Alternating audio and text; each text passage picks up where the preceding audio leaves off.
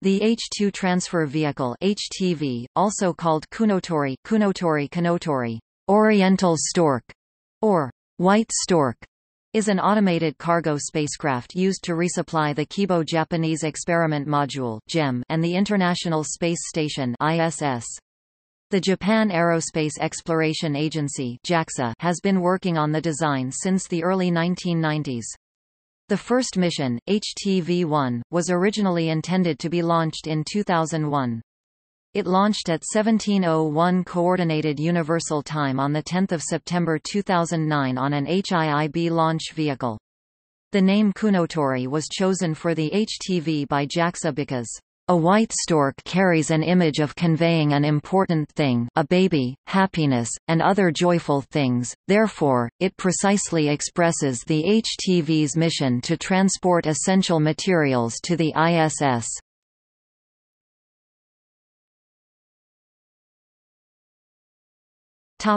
Design The HTV is about 9.8 meters (32 feet) long, including maneuvering thrusters at one end, and 4.4 meters (14 feet) in diameter.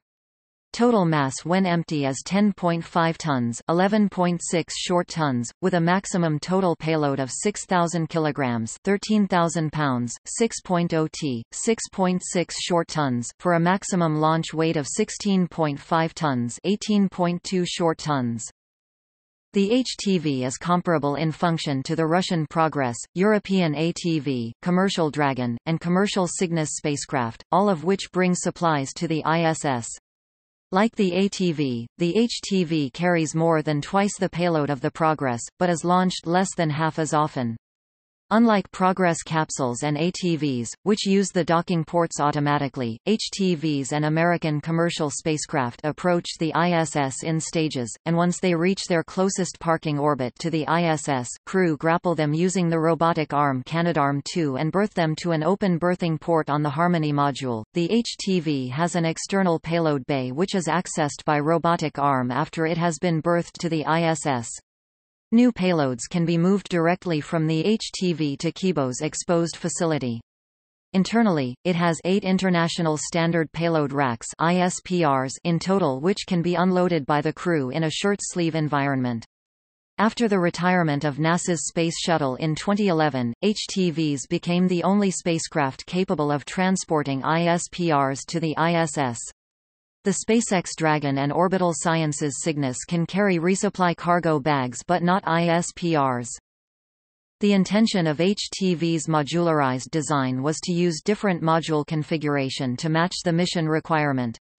However, to reduce the development cost it was decided to fly the mixed PLC, ULC configuration only, to control the HTV's attitude and to perform the orbital maneuvers such as rendezvous and reentry. The craft has four 500N class main thrusters and 28 110N class attitude control thrusters.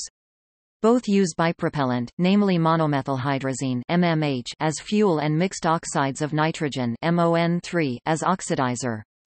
HTV-1, -2, and -4 use Aerojet's 110 NR-1E, Space Shuttle's Vernier engine, and the 500N based on the Apollo spacecraft's R-4D.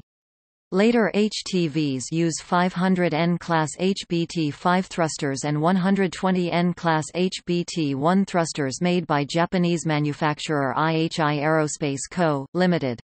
The HTV carries about 2,400 kg of propellant in four tanks. After the unloading process is completed, the HTV will be loaded with waste and unberthed.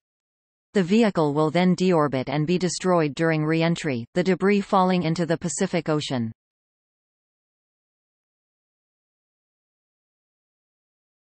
Topic: Flights Initially seven missions were planned in 2008 to 2015.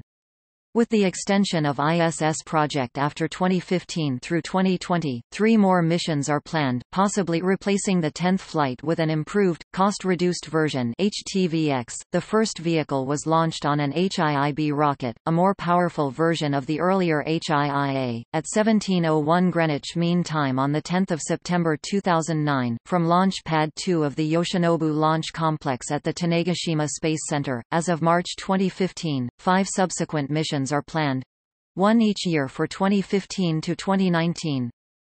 One fewer total mission than had been planned in August 2013 at the time the fourth HTV mission was underway.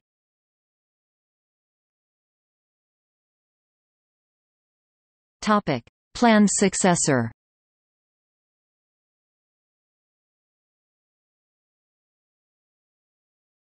Topic. HTVX In May 2015, Japan's Ministry of Education, Culture, Sports, Science and Technology announced a proposal to replace HTV with an improved, cost-reduced version preliminary called HTVX. Proposed concept of HTVX as of July 2015 is to reuse the design of HTV's pressurized logistics carrier PLC as much as possible, except adding a side hatch for late access cargo, to replace the unpressurized logistics carrier UPLC, avionics module, and the propulsion module with a new service module. Instead of loading the unpressurized cargo inside the spacecraft, load them on top of the service module. Reusing the PLC design will allow minimizing the development cost and risk. Concentrating the Reaction Control System RCS and the solar panels to the service module will allow simplifying the wiring and piping, to reduce the weight and the manufacturing cost. Loading the unpressurized cargo outside the spacecraft allows larger cargo, only limited by the launch vehicle fairing.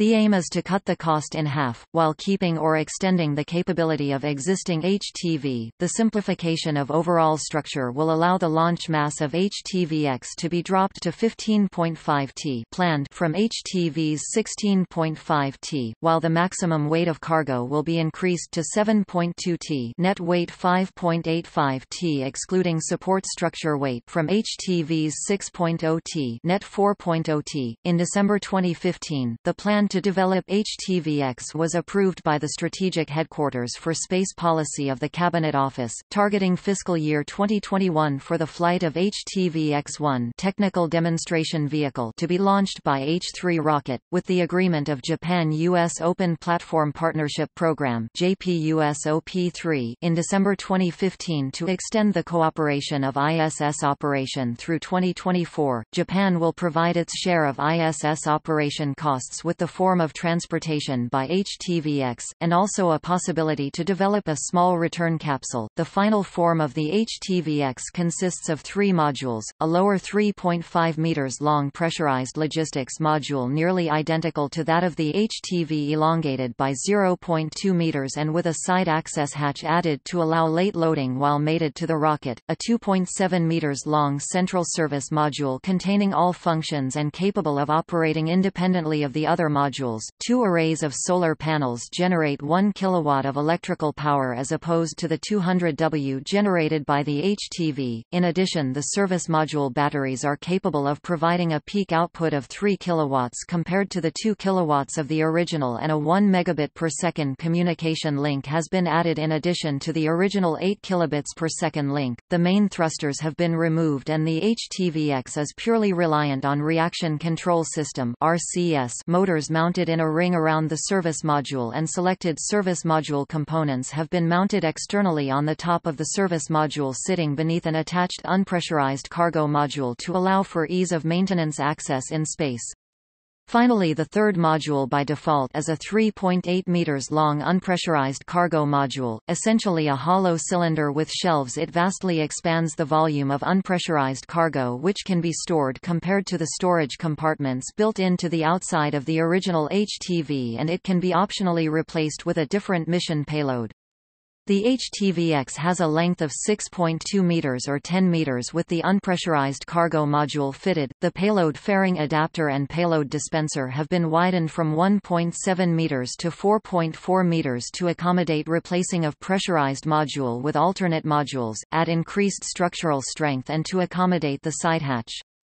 Other payloads being considered to replace the unpressurized cargo module while carrying out ISS resupply missions are an external sensor package, a technology trial of an IDSS airlock with automated station docking as used by the Progress and ATV craft, a trial of rendezvous and docking with a simulated satellite module, a smaller satellite piggybacking the launch to reach ISS orbit, a station return capsule, assembling a beyond Earth orbit mission such as lunar lander from smaller modules and acting as a space tug shuttling orbiting unpressurized cargo modules to the ISS allowing stuff such as recyclable materials, excess propellant and spare parts to be stored in orbit for future use rather than discarded.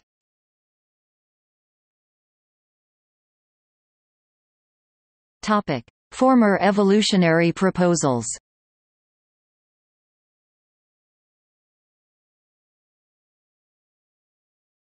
Topic: HTVR As of 2010, JAXA was planning to add a return capsule option.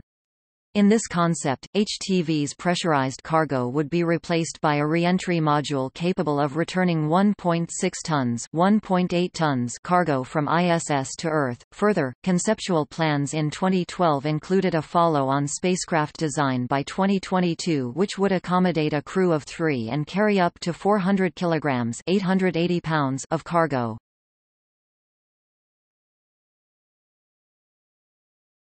Topic: Lagrange outpost resupply As of 2014, both JAXA and Mitsubishi conducted studies of a next-generation HTV as a possible Japanese contribution to the proposed International Manned Outpost at Earth-Moon L2. This variant of HTV was to be launched by HX Heavy and can carry 1.8 tons of supplies to EML-2. Modifications from the current HTV includes the addition of solar electric paddles and extension of the propellant tank.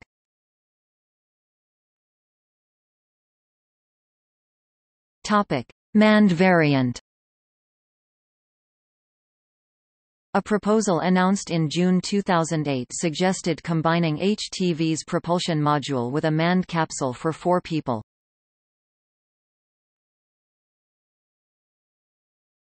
Topic: Japanese space station. A Japanese space station has been proposed to be built up from HTV modules. This method is similar to how the modules in Mir, as well as many modules of the Russian orbital segment of the ISS are based on the TKS cargo vehicle design.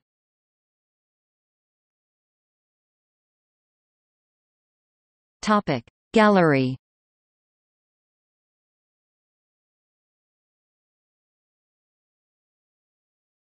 Topic. See also. Comparison of space station cargo vehicles. Comparison of automated cargo spacecraft